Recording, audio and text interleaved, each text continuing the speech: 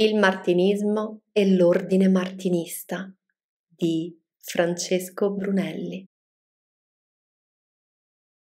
Introduzione.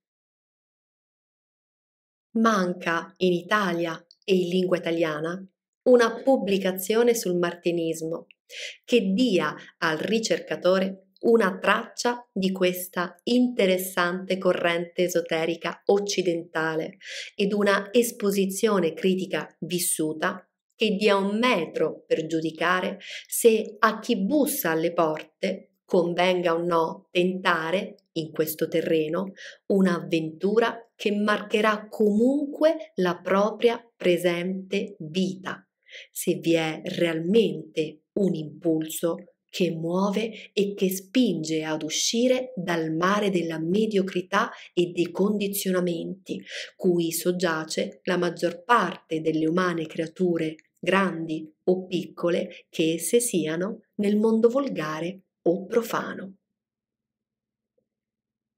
Non sappiamo se e quanto potremo riuscire in questo intento. Non sta a noi dare un giudizio, ma possiamo confermare che abbiamo cercato di concentrare in brevi note quanto ci siamo ripromessi di voler dire. Quando nel 1953, che sono passati oltre vent'anni, il libro è stato pubblicato nel 1976, fummo ammessi nell'ordine martinista dal figlio del grande Papius, eravamo tanto ingenui da credere che per questo solo fatto avremmo trovato vie e ponti privi di ostacoli e maestri pronti ad ogni nostra bisogna. La realtà fu che dovemmo costruirci da soli, pezzo per pezzo, frammento per frammento.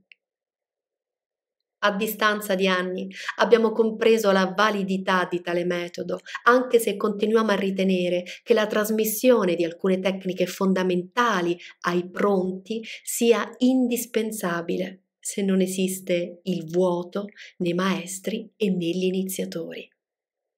Vuoto che per contro più di una volta abbiamo amaramente dovuto constatare senza peraltro desistere dalla ricerca, senza distoglierci dalla direzione presa, senza abbandonare tecniche elementari che da soli avevamo appreso e che con il tempo abbiamo migliorato, mercé apporti differenti capitati non a caso, ma nel momento giusto ed opportuno. Possiamo oggi confidare agli amici che l'approdo al martinismo fu un valido passo dopo anni di ricerche e di delusioni, trascorsi in mezzo ad associazioni di diversa colorazione esoterico-culturale ed esoterico-ritualista.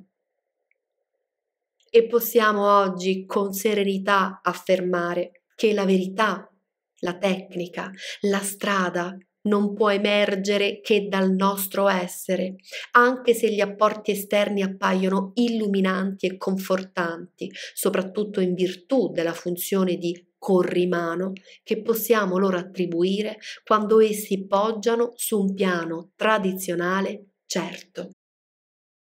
Ed il martinismo poggia su questo piano.